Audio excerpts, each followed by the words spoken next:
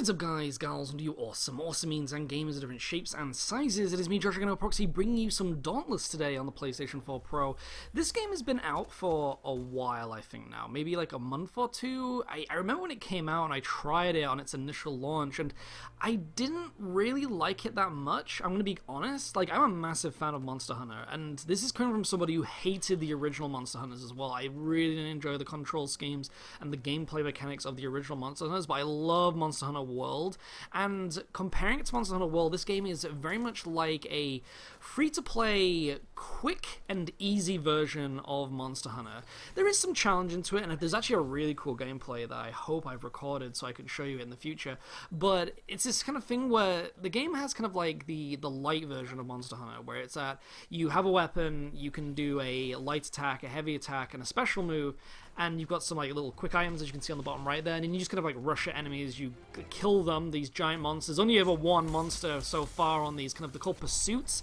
You have pursuits and patrol so far, and there's just this one monster hidden on the map, and you have to find it with your team of four, I think, in total, and then you wail at it, kill it, get some materials, make some weapons and armor, and then you kind of go and do the next thing. And it's a cool concept. It's that kind of thing where just for free, it's kind of like Warframe, you know, instead of like just going through levels and grinding, you can just like go have a boss battle. Just go have a boss battle for 10 minutes, which is kind of awesome if you think about it. And a lot of these monster designs are really cool too. They're definitely down my avenue of like art style. I really love this kind of like comic booky cartoony.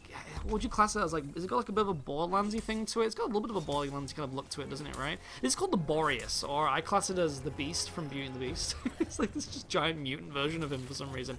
Obviously, he got rejected by Belle this time.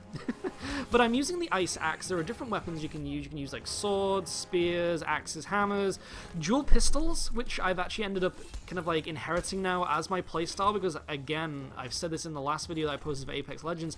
Really loving kind of like support kind of stuff. I really like playing support because there's just kind of like more to it than just wailing on things. And like when you use like the melee kind of a, like weapons and you just kind of like have to do that. You're just kind of like smashing into things. And it kind of gets a little bit tiring. I find myself kind of falling asleep doing this kind of stuff. I don't know if anybody else is like that. But it's it's kind of fun still. It's that kind of thing where it has that simplicity, that accessibility. What you have to do with this guy is that you have to fight him in general. He then brings up this kind of like ice armor, and then he gets these little like bat babies, and you fight the bat babies, which then kind of like buff your damage for each attack on him. So like say if you kill one bat, it means that you'll do like say let's just say as a like made up example, double damage to the monster by hitting one bat baby. So really what you want to do is kill lots and lots of bat babies, and then you can actually destroy its armor that's kind of the tactic I find of this dude, or dudette. It, it could be either. He's having some kind of epileptic fit right now with his face. I don't know why. This game is like a class kind of like in a beta phase, I think.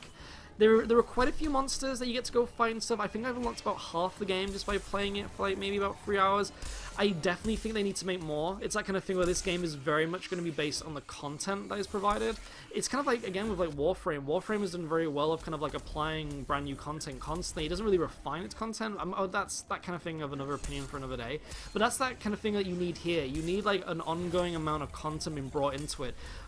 Adding monsters into a game is probably going to I don't know, like, be a bit of a struggle for a development team to just keep adding monsters over and over again, because that means you also then have to make equipment and weapons that kind of go with that as well, because that's kind of what happens in this game. You have, like, a boss monster that you fight, and then there is a set of armor and weapons that kind of Uh, like, attached to that one monster, and then you kind of grind it out, and then you go make the armor and stuff. And so you'd have to make like a different type of armor and weaponry that kind of justifies that kind of like gameplay kind of like inputs or injection each and every time. And that might be quite difficult. I don't know. What do you think? Constantine Bull, let me know. Have you been playing this as well? Would love to know that as well. We are about to take this thing down. It kind of borrows that thing from Monster Hunter as well, where you kind of like see like ongoing progressive damage onto the enemy too. Using that really cool R1 ability where you kind of like underarm spin it like as a boomerang and it comes back at you. Really cool. If you press R1 again, I found out you actually do like like an uber downward slam. You don't see in this video, but really cool, and I figured it out last time kind of epic. I don't know. it's a fun game.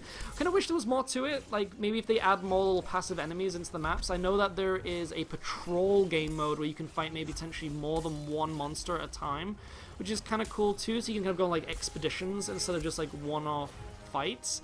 So it's kind of got that thing where you can kind of do like a pick up and play thing, or you can do kind of like a massive epic kind of like grind session of just fighting a bunch of monsters at the same time for a type of elemental refinery that you want, like say ice or fire. But either way, we're taking that thing down. Let me know in the comments below what you thought to that. It's been me, Josh, aka Nomad Proxy, bringing you some of this Dauntless gameplay, and maybe I should bring some more. I'll let you know in the future if I do, and let me know if you want to see some more. Got a good A rank there as well for solo performance, and then also for the team we got SS plus, I think that was. But either way, I'll see you all next time.